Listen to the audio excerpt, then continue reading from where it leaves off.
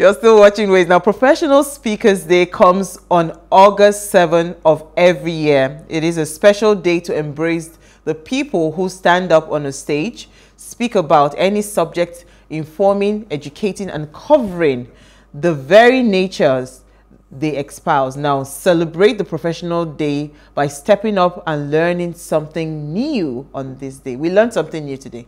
Yes. Polymath. Uh, well, you learned it new. I knew it. Now you sabi. We Google. we had to Google it. Uti, what did you learn new today? There's something that there's actually something I didn't know. I had to Google it. Yes. That's why we have Google, isn't it? Yeah, but but but honestly, um, you are a professional speaker. As okay. a Toastmaster, even though you're not collecting money yet, but you're a professional speaker. How's the journey been so far? And when did you start the journey? Okay, so I would say that my communication journey started even before I knew I was doing it. Mm. I was a very, very active child in my local church. And believe it or not, I was really addressing adults and they would listen to me. So having recognized that, you know, this is something I do often without even knowing it, that's why I joined Toastmasters. Mm. And I'm mm. like, if you want to do it, then you have to learn how to do it well and do it properly. Mm, awesome. Awesome. We have a we have a great show today. All right. So Uti, let's start with you first. What did you find for us in the news?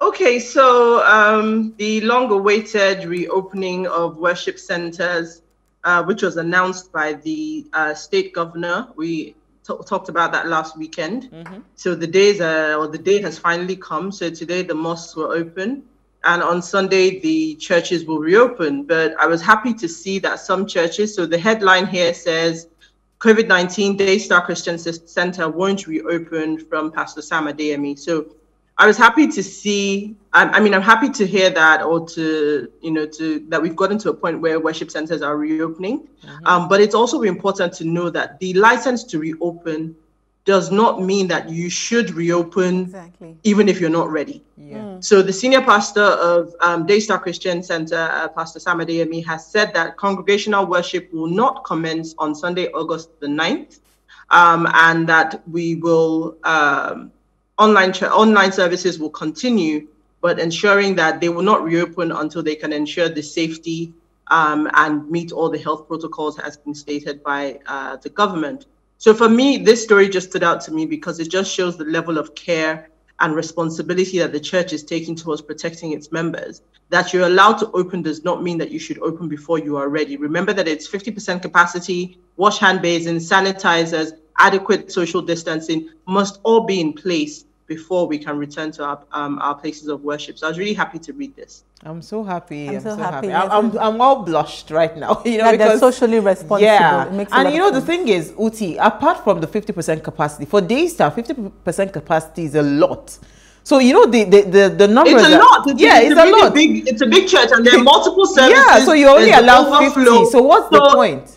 Exactly. It's acknowledging the reality of your circumstances exactly. and knowing that you know what we can't do this safely yes, just yet. Now, so. I mean we have other mega churches in Lagos. It is important that everybody is taking those same precautions. Absolutely. Um, really, really to protect. Absolutely, you know, absolutely. Protect the congregation. Absolutely. Well mm. said. so, Eke, what did you find for us? Well, my story is taken from the Vanguard, and it's one that's perplexing. It says Bauchi governor appoints special assistant on unmarried women. Mm -hmm. So the governor of Bauchi State, Bala Muhammad, has appointed Balaraba Ibrahim as special assistant on unmarried women. So I took this further. BBC um, News reported that actually the caption is wrong. It's actually um, for divorcees. Now my take is, forget the title, whether it's unmarried women, whether it's divorcees, what happened to the Ministry of Women Affairs? Mm -hmm. Why is it so um, important that it has to stay on its own, stand on its own, and have a special advisor, you know, appointed to it? And it just gets me to the point that what, what do our politicians take us for? Mm. Is it that they do not think that we can react, or it just, it well, sometimes sit, it, it, doesn't, doesn't sit, sit well. well.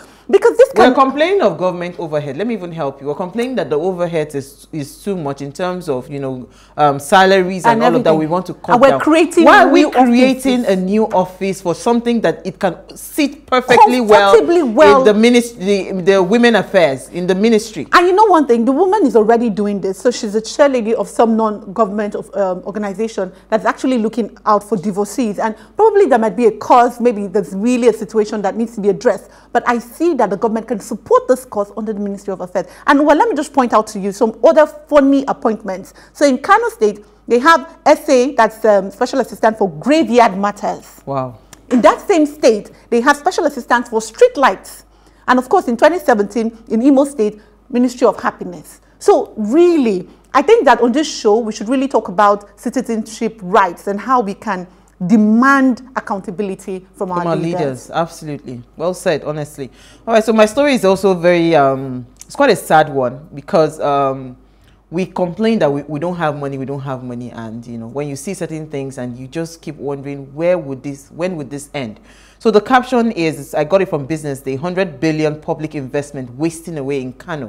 When I read this story, it was so pathetic. Now, so the, this, the, the overall um, summary of the story is that the previous administration, I think 17 years back, they've had different projects, very laudable projects that they had done, thinking that it would bring political, social, economic benefits to the state. And now the current governor, most of those projects that they invested over a hundred billion naira on, most of those projects are just there. Some of them abandoned, completely neglected. Nothing is being done, you know, to finish up those projects to be able to, you know, at least let it start to bring economic mm. value to the state.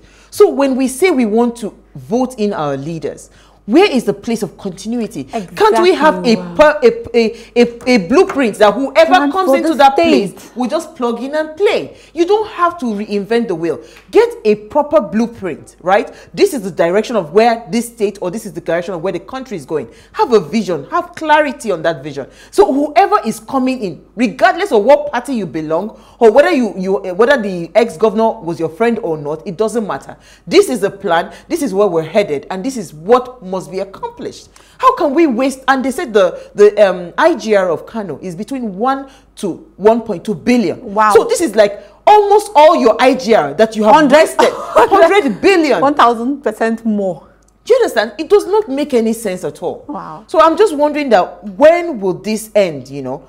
Well, you make you make valid points, It's but I'm sure sad. that everyone is just looking for something that they can But- but slap their Uwa, name on. Yes, dear. you know that this is just an example of Nigeria as a whole.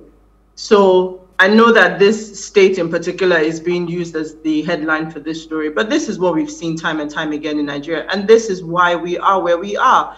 Because your story, um, Eke story, all ties together in the fact that public funds are just being shared out in the national cake system and we're not getting value for our money. And on the other end, when the government runs out of money, what do they do? They find some other way to tax the public. Now, Exactly. people usually are not adverse to paying taxes when they know the money is being used properly. But when the money is being spent to create new new um, MDAs and is being just, th- th- I mean, it, there, there's complete chaos in our system. Exactly. When you were speaking about this, I just thought to myself, let's just play, go back a few weeks to the NDDC versus the Ministry of Niger Delta Affairs. I will just leave it there. Ah, Uti, really, let's leave it there. like I want to faint right now. But let us go on a break. Let me go and faint. We'll be right back.